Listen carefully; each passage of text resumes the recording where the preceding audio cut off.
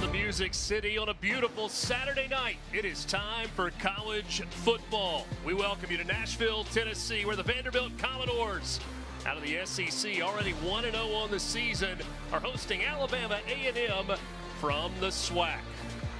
21-yard try. It is up, it is good. Certainly Alabama A&M would have liked points. They would have liked a touchdown, but they had to get points after that Had drive. to. They're leading right now, so yes, had to get the points. Three to nothing. Alabama A&M strikes first. 23-yard attempt for Borcila. And it's good. Slipped it inside the left upright.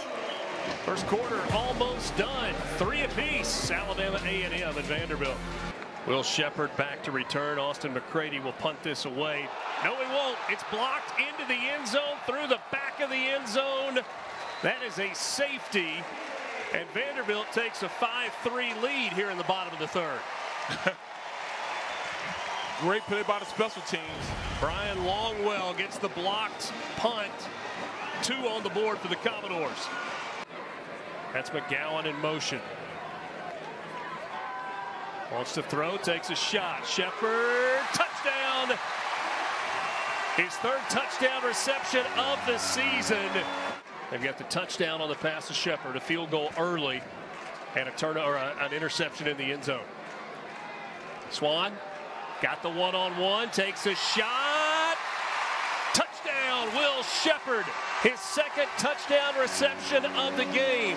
Back-to-back games to start the year for the second straight year for Will Sheppard with multiple touchdown catches.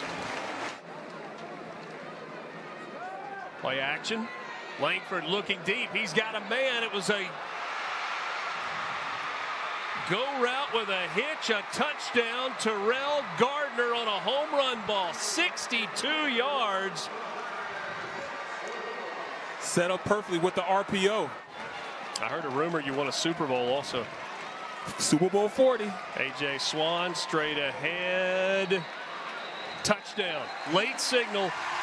Linesman on the far side coming in said that AJ Swann broke the plane. That is his first rushing touchdown of the season.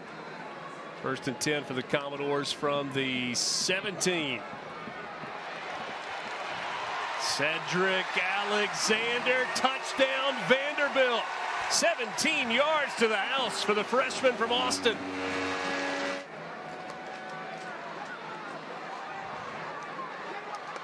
Alexander trying to pick his way inside the five. Dives for the pylon. Touchdown, Alexander. Touchdown, Vanderbilt. Gillespie in with Seals in the backfield. Sets up the screen.